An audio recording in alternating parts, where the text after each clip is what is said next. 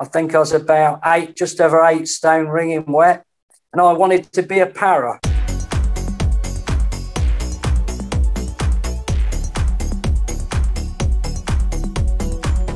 The greatest British Taekwondo team ever, and proud to say I was a member of it twice. He was classed as the best ever Thai boxer of his era.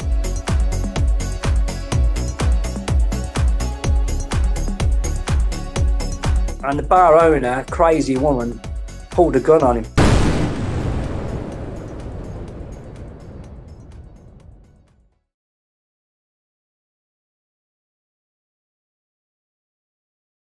Dave, how are you, mate? Great, mate. Yeah, thanks for having me on the podcast. Ah, that's my absolute pleasure. Um, yeah, Um, I'm enthralled to be here. Good, that's what we like. I'm, I'm trying to think who we've got to thank for putting us in touch. I, I'm sorry, folks at home. I, I honestly get so many messages a day. I can't remember. Ronnie, Rocket Ronnie, Ah, yes, of course. I made Honey, it Ron in Thailand. Yes, thank you. Fantastic bloke. Very nice bloke. Yeah. And so, Dave, let's just start off. You you you've been in in the wars a little bit recently. Yes, yeah. So it all started, Chris. I'll let you and the followers know. It all started in when COVID hit Thailand. I was living in Thailand. I was there 21 years, had a great life. And then suddenly COVID hit and it wiped out my business. I had no clients left because I was doing photography, I was doing photo shoots, I was blogging, you know, I had a website, so people would at bars and restaurants would advertise on that, and it all dried up as soon as COVID hit. It was a nightmare, and I had to get out fast.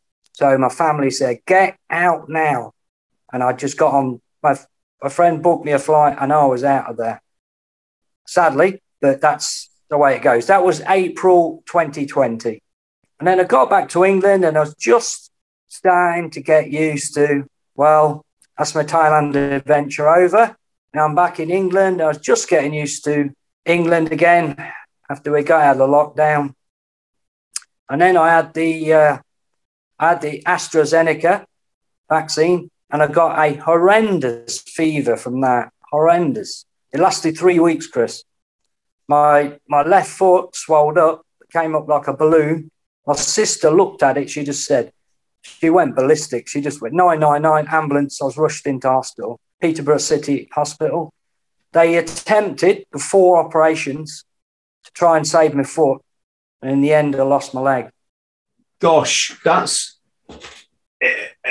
it's it's hard to give that the magnitude it deserves. It you know over the internet, isn't it? I mean, you, Yeah. What, what you've just been through is it would be most Four- people's worst nightmares. Had four operations, 10 weeks in hospital. Hmm. I'm out now. I'm guessing the medical community are never going to um, consider the fact that it might have been might have been due to this uh, procedure. Yeah, basically, they just said um, very hard to prove, hard for it to be connected. But come on, there's nothing wrong with me. I had doctors had balanced my diabetes. I was on oral medication. They got it right. There was nothing wrong with me. There's nothing wrong. I had, I do admit that I had three toes on my left foot had been amputated in Thailand. I do admit that but they had fully healed. This was five, over five years ago, Chris, hmm. and they were fully healed. There wasn't anything wrong with me, as far as I know. And they and and if if it wasn't the vaccine, then how do you explain this horrendous fever that lasted three weeks? Man, I thought I was nearly dying. That's what you know. I was just unlucky. That's all. Yeah, it's it it's um ah But up until this, Chris, I'd like just like to say for all your followers, I've had a fantastic life up until this. I had a really, which we no doubt will explore, mate, won't we? yeah, well, let's let's let's talk about that. And um, I just wish you well with all all the other Thanks, Chris. All the other stuff. You're obviously um, putting a very robust face on it, which is all we can do in such situations. Um, yeah, but that's me, Chris, and you'll find out why when you you know, learn a bit more about me. Yes. How did you get into the martial arts? Right. Yeah. As a, I'm I'm a small town boy. Um, my mum and dad didn't I didn't have much money. I was bullied as a kid, so I wasn't anything special at all. I was quite timid. Even you wouldn't think so now. The way I talk, iron legs off a donkey. the teacher said, he, he, he seems a bit withdrawn, you know. But uh, then basically, what happened? I said to Mum, I said, Mum, I'm fed up with the Boy Scouts. I said, I can't stand, we can't stand the leader, and he wants to throw my mate out. I want to leave. So she said, Okay, well, what do you want to do? I said, Well, let's go to the YMCA because it's an open day. I had no idea what was there, but I thought, my mate said, Join the YMCA. Why don't you join the YMCA day? So we went to the YMCA and there was a Taekwondo class. And I said, Mum, that I was 13. I said, Mum, that's what I want to do. That is definitely what I want to do. And she said, Well, if you only if you're sure, because I've got to pay for it. I said, Oh yeah, I'll take. And uh, Chris, I must say, it was the only thing I'd done in my life so far, that far, that I was a total natural at because I had the physique. I was extremely supple. I was like, I was like rubber, mate. So I was just a, I was lucky. I was a born natural. Yeah, took to it like a duck to water, mate. Bit like me, mate, really, because I, I go taekwondo twice a week. Oh, and I, as you can obviously see, I've got the looks, I've got the body, and um, yeah. well, slim. Yeah. I, I watch my son.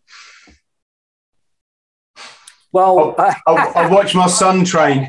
Was so supple. I could do what they call, what I call the banana splits because I'd put my heels on two chairs and make a massive curve. I was so supple. It was, it was a joke.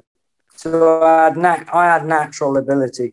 I was very, very driven because I used to mess about doing kung fu in the back garden with my cousin, even since the age of about 10 or 11, playing around and uh, basically Bruce Lee. It all starts stem from Bruce Lee because, of course, we we were too young in those days. You couldn't go to see the films, but I had a wonderful uncle, Uncle Bill, used to tell me all about Bruce Lee. He used to buy me every book, every magazine, every poster, and I wanted to be Bruce Lee. Basically, wanted to be like Bruce Lee. So I started Taekwondo and did very well at it. Chris, yeah, become a career. I uh, my instructors said Dave's so exceptional. Let's put him in the tournament. Put me in a national British full contact all styles championship, and I was young, really, as very young. But they sneaked me in the men's division, and I won it. Quest for the champions, that was. Yeah, Bruce Lee was some win a string of English and British titles, and then. Um, I did have a brief spell, tried to join the British Army. So uh, I had this crazy idea at 18. I think I was about eight, just over eight stone, ringing wet, and I wanted to be a para. I don't know why, Chris, but I just got it in my mind, my tiny mind. That I wanted to be a para. But I, you know, I was disillusioned a bit in the end, and I had to go. I failed a back squatted three times, fell P company three times. I wanted a fourth go, and they stopped me. They thought I was a bit of a psycho. They said, You fell three times, Mears. I wanted another go, but they stopped me. So I came out, but look at it. Well, I came out just before Kip Falklands War kicked off in 1992. And then I went to Italy with a group of people called the United Kingdom Taekwondo Association under the great leadership of Dave Oliver. If anyone knows the name Dave Oliver, my God, most successful English British coach ever, the greatest British Taekwondo team ever. And proud to say I was a member of it twice, you know. So we went to the European Championships, won that. And then in uh, 1984, we beat the greatest ever, the undisputed USA super team. They were WAKO and PKA, which is Professional Kickboxing Association, undisputed world champions. And they got a big shock because we beat them. So the Taekwondo Association Great Britain, England team, beat them. I was lucky to make that team because the lightweight, uh, the the number one was Ron, a man called Ron Sergiu, good friend of mine, but he was injured. He had a bad knee injury, so they called upon me. I was the number two, and luckily we all won. So there's a bit of an intro. I got into the martial arts, Chris. Yeah, what's it like then when you're going to go in for a scrap? It, it. I think. Are, are you terrified? Are you, are you calm? How do you build yourself up for that? Well, I don't know, but ever since I think it was just because when I went into Taekwondo, also actually reminded me when I was very young, I got a very. Uh, I went to see him the other month. Actually, is that my boxing coach, Lesnat, bless his heart, he's 96 now. And he, he, uh, he started teaching me boxing from a young age of 16. So I was learning to box as well as Taekwondo. And no, I didn't really fear it because I, I think it was just my mindset. It was just me. And I think, like I say, Chris, to be honest, I was lucky that I was so naturally talented. I was very I was very gifted naturally. And so that helped a lot. Yeah. So, no, not really. In fact, I tell you, at that tournament, I think of this, I, I could see this, uh, my opponent looking at me and sort of sniggering with his coach. Yeah, look at him. He's only a brown belt because he was a black belt. And he looks young and skinny. And I whacked him as hard as I could with uh, a straight punch in the solar plexus and knocked him out in the first round. Knocked him out. It was less than a minute of the fight. Yeah. So it was definitely something there, Chris. Yeah. Yeah. I'll tell you what, Dave. I'm just going to say now. Like, like you, Chris, you went on to be Royal Marine, which I have great respect for you you you found your calling in life, and I think that's happened to me. I found my calling in life. Some people, sadly, maybe don't. They don't reach their full potential because they did not find the thing that is suits them the most. Yeah, writing was the thing that suited me the most. I didn't find that until I was 38, I think.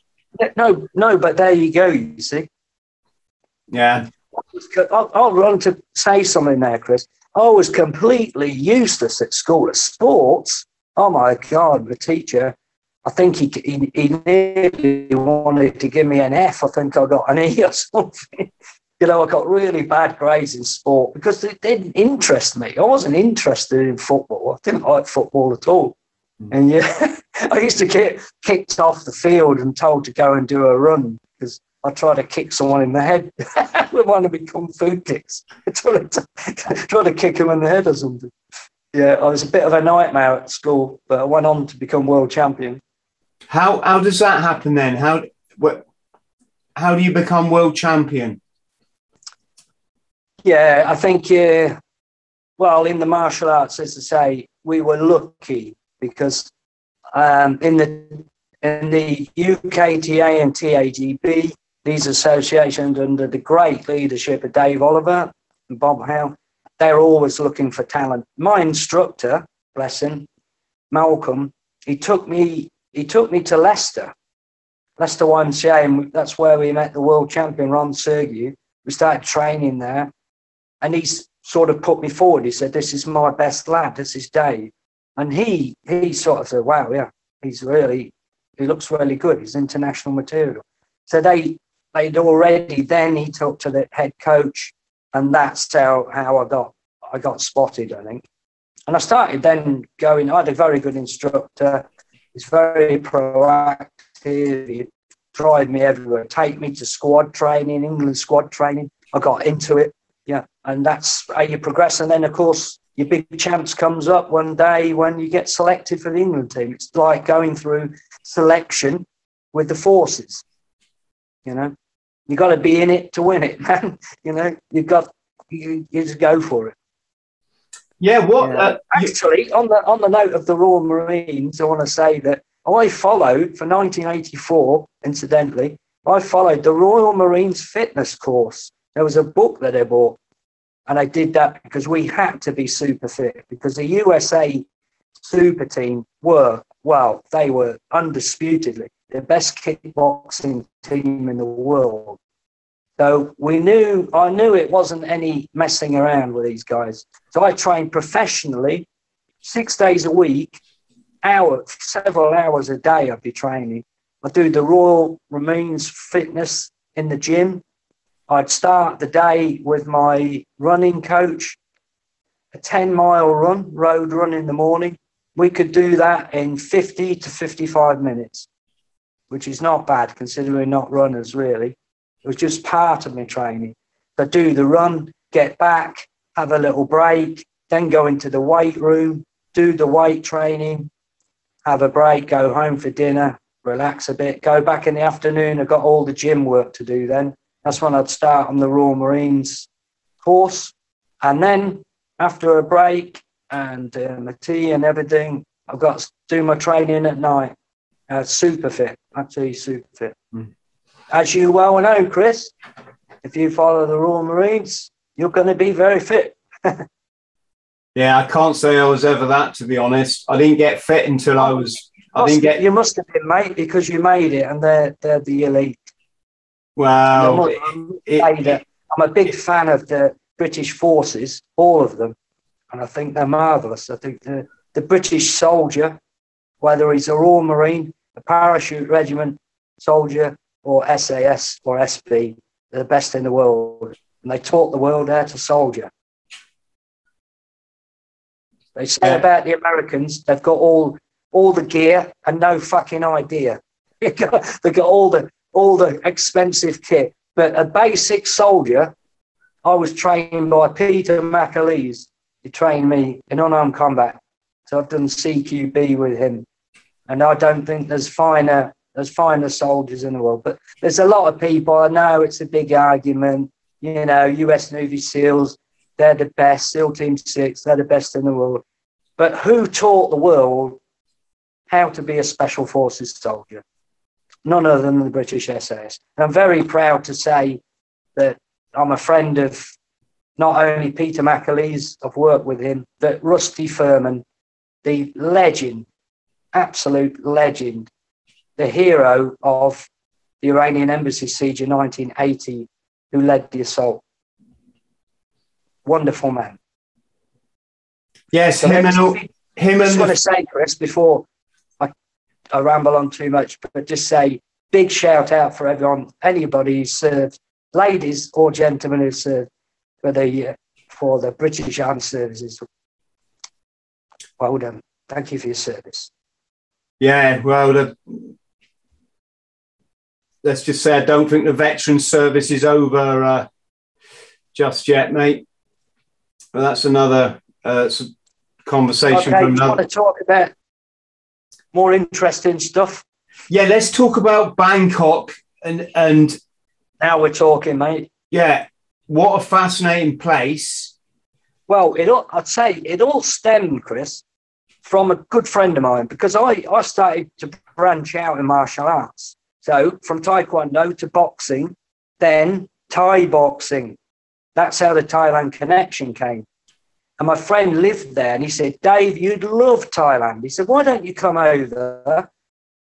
You know, you can work on your Thai boxing with the real world champions and you'll love it over here.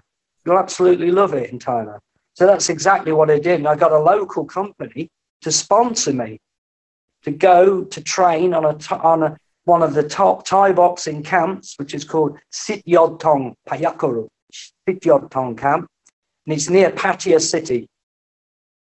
Um, you know, which many people know, the seaside town. Call it, I call it Soho on Sea. There's more birds there than anywhere the rest of Thailand, I think. But yeah, so this camp was just in a in a little village just outside there. That was amazing because my training partner was none other than Samart, Samart Payakaroon, who is anyone who knows Thai boxing will know that name. He was classed as the best ever Thai boxer of his era, and he won a world boxing title on top of that. Absolutely amazing guy. So that that Chris is the sort of level that I train with. Yeah. And these And guys you have a do bit it of from experience, don't you, Chris? From Bangkok. Yeah, I was just saying. Look, look at the shape of my nose. You can, you can You've got to be very careful because I, I want to say this for warning. It doesn't matter. I knew some American lads. They were huge, big, big lads, really big, huge. They were tall, big bodybuilders. But you get 10 Thais round you, all tooled up, mate. Doesn't matter how big you are, they'll soon chop you down to size. The Thais don't fight fair. And if they think you're a bit of a threat, well, they just have five of them or 10 of them waiting for you. I know because I used to be a bar manager over there. Which bar did you manage? Yeah, it's a great, great, great times. There's a place in, in Bangkok called Nana Plaza. And I was very lucky to run one of the best for many years. Six years I ran Hollywood.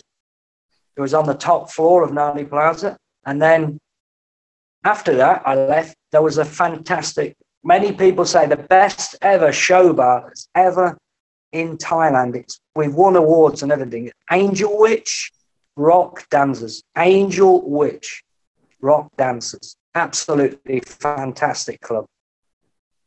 We, well, three years in a row, they won Best Go-Go Bar in Bangkok. They won the award. And Pattaya is voted by the US Navy Best Club in Pattaya. Great honours. So they've got the awards behind it. But they, they, I can't take all the credit. I was just the manager. The owners were, were, were geniuses. But ironically, it was a German man and a Thai lady boy. And she was full sex change. But she was they extremely creative with the stage shows. They and all of their shows were unique. And guess what happened one day? One of my friends said, Dave, you've got to get down here. Get down here now. I said, What's up? Is there, what's going on? He said, You'll never believe who's just walked into one of our bars. Steve Tyler from Aerosmith. I said, You're joking. Yeah.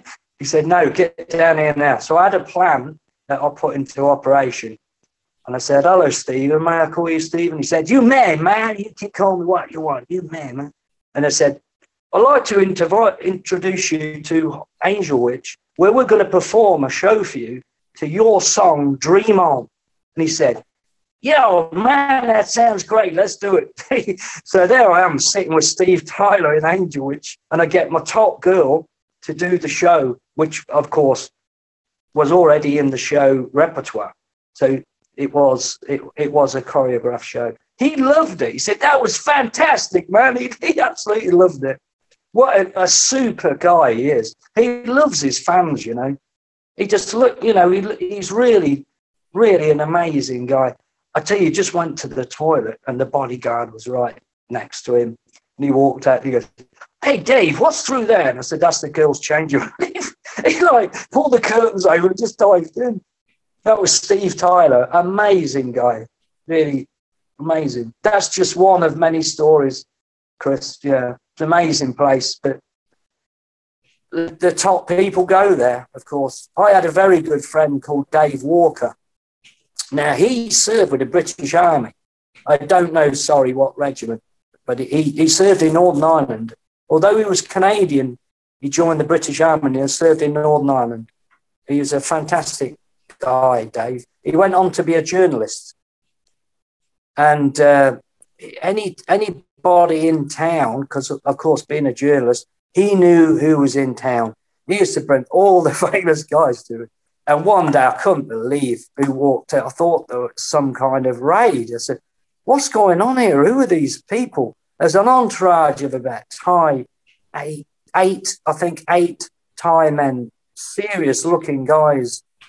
And I thought, well, that's a security team. That's that can't be police or is it army? Well, is this some kind of raid? And in they walk with Steven Seagal, the Hollywood movie star. and you're not going to believe it, Chris. But guess what bar I worked in? Guess what it was called? Hollywood. I'm not joking. It was on the top floor. It's called Hollywood. Yeah, that, that was the truth. And just to meet him, I mean, you know what I'm like, motor mouth me as I just talk, talk, talk. I was silent. I'm like, I couldn't speak. Steven Seagal. Well, that was that was impressive. But the Did best he- one I ever ever met was definitely Steve Tyler because I made it all happen and we did the show for him to his song. Yeah. But met a few. Yeah. And the same guy again, Dave. He said, You're never gonna guess who's just walked into your bar. Goes, Go on, who is it this time? He said, It's Oliver Stone. I said, What, the Hollywood movie director? He said, Yeah. They're doing a movie in town. And the guy with him was very, a very, very nice guy, very humble. And we're still friends to this day. And that was the former world light middleweight boxing champion, Gary Stretch. And he has absolutely lovely bloke. And he was one of the only people to ever beat Chris Eubanks. He's, he's a wonderful lad, Chris.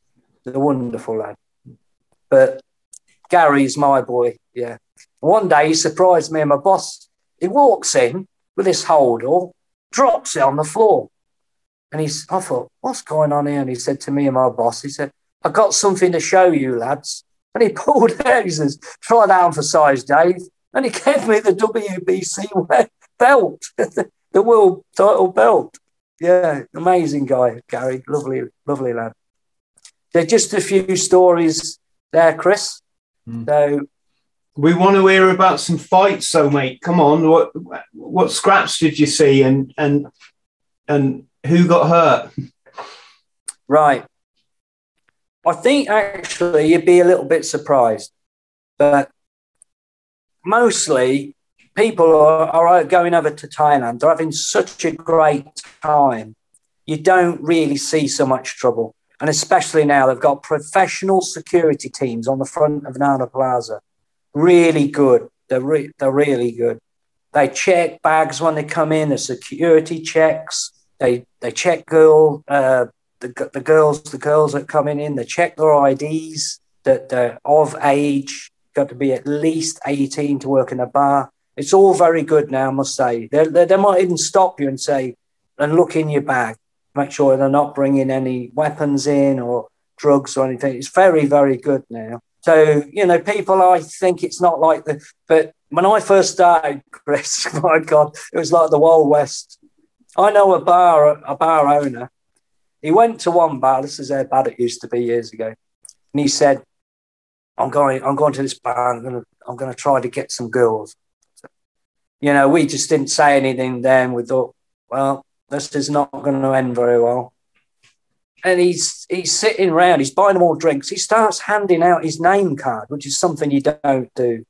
I mean, sort of a gentleman's agreement. You don't go handing your name card out to the girls. That's di- deliber- deliberately poaching them. You're trying to steal the girls. And he gets this jab in his ribs. Yeah. And the bar owner, crazy woman, pulled a gun on him. Yeah, she shoved a barrel in his ribs. She said, I wouldn't do that if I were you. That's what it was like. It was like the Wild West, man. Yeah. There's a, I'll tell you a story, not so much fights. There's a crazy policeman, and he uh, called him Toon. His name is Toon, so we call him Toon the Loon, I call him. Toon the Loon. Oh my God we're in a downstairs bar. It used to be rough and ready in those days. And there was rats running around and he'd go boom and he was a terrible shot. he missed the rat completely. Everyone's ducking and diving from ricochets. Oh, go crazy. That's Toon the Loon. Lets his gun off in the bar, trying to shoot the rats. That complete nutters. But you're talking about Patpong. Well, one of my friends was down there, and what they do, you've got to be careful because they say it's a bit like Soho. You've got to think Soho. They go, Oh, we have a special show for you, sir. Yeah, and it's going to cost you a lot of money. And it's just a rip off, like they, they used to do in Soho.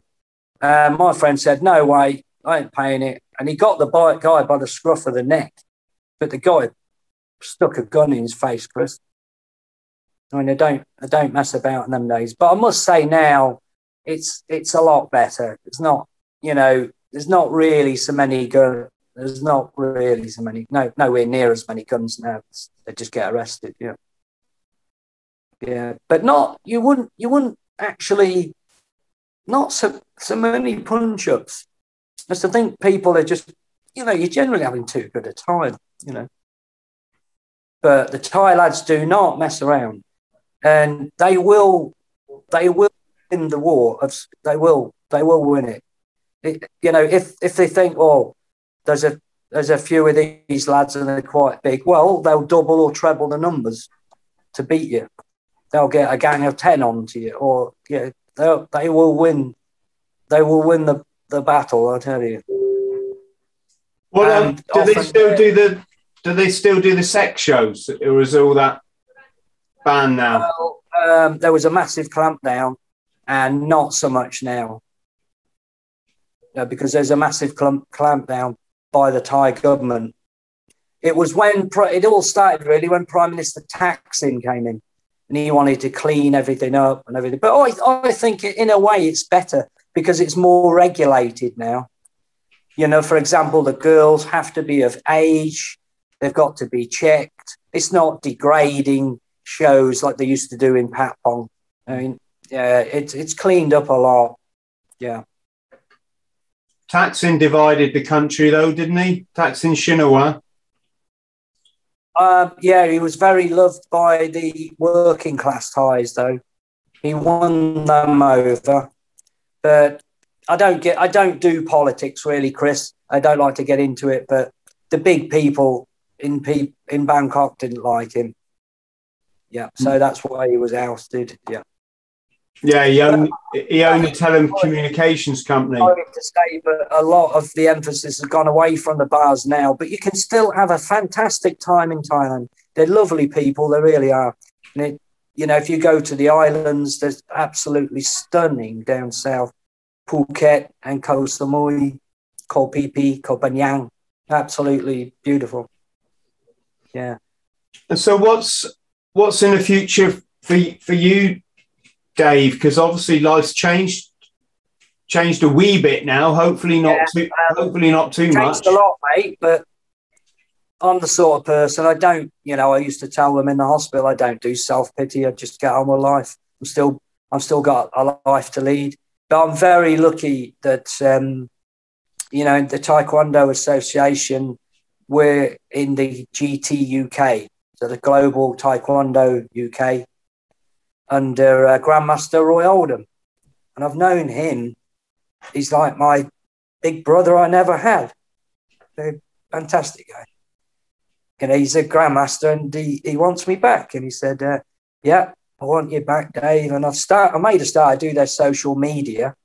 And one skill I did learn in Thailand, because I was trained by some professionals, it was how to be a photographer. But I got to say, Chris, there are a lot more interesting and lovely subjects to photograph in Thailand than I'm going to have here, mate. but uh, yeah, yeah just, amazing experience in Thailand.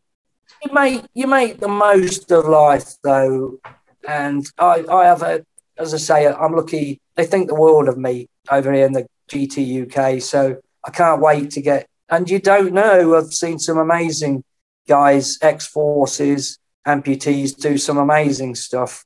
And I wasn't world champion for nothing. I don't give up. You know, I'll, I'll get, I'll go back into it, but I just don't know to what degree, Chris, or how long it will take. It's a process.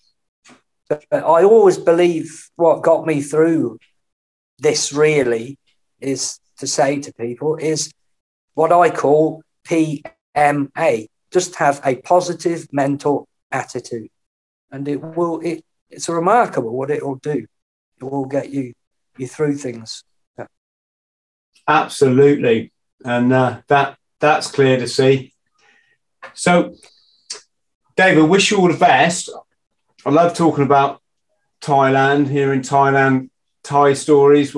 Um, yeah, it's been you know it's been a good podcast, and maybe we do another one, then we could talk more about my stories about Peter McAleese. Save it for another time, and maybe yes, Chris. yes, Peter. I been a... all day. I want to try to write a book about it. Actually, Bangkok. Um, some of my obviously my memoirs, but warnings to people what to do and what not to do. Yeah, but it, it, I had a fantastic time there. There's a guy, um, unfortunately, many of us were forced to leave Thailand, and a guy called Man, and he got a fantastic website called stickmanbangkok.com. And one of the best compliments I've ever had, he called me Mr. Nana. Um, that's amazing to be named after a place. My God, let alone named after a bar. I was named after the whole complex, Nana Entertainment Plaza. Amazing. His last tribute to me was when I had to leave, forced to leave Thailand, because I did know a lot of people. I blogged about it. Um, I had my own website. I was sort of like an ambassador for for the place. So he, he, it was by by Mr. Nana. Nice tribute. But Brilliant. my life now is here, Chris, like you, mate. I'm in City Street and I'm back in England. But um, I want to finish by saying that the National Health Service is marvellous in this country. Yes, it's, we have to protect it from from Mr. Branson, don't we? The the thieving bastard. Um, do you know why Sorry. they pri- do you know why they privatize companies? No. It's so they can sneak off all the technology. You know, so they can get dabs. Well, dabs on, on, I'm trying to say is from a patient's perspective. I've been through it. I've been through the mill, mate. I have four operations. I was in 10 weeks. And I tell you, they're absolutely marvellous, the doctors and nurses. Yeah, we got to protect the NHS at all costs. And uh, that ain't happening. That's not happening at the moment, you know. So I just wanted to say, Chris, a big shout out for the National Health Service and the, the British forces, still the best in the world. Yes. And- might call us like the EU or oh, the bloody British and all that. But I tell you what, they wouldn't want to bloody fight us, mate. yeah. True, true, isn't it, mate? You know.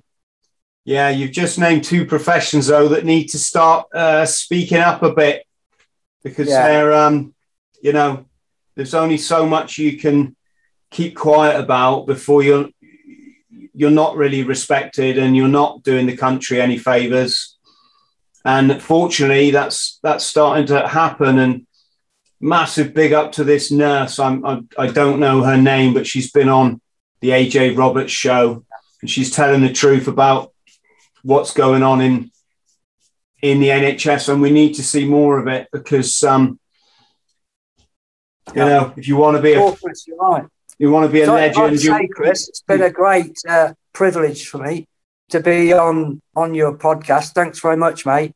Yeah, no problem.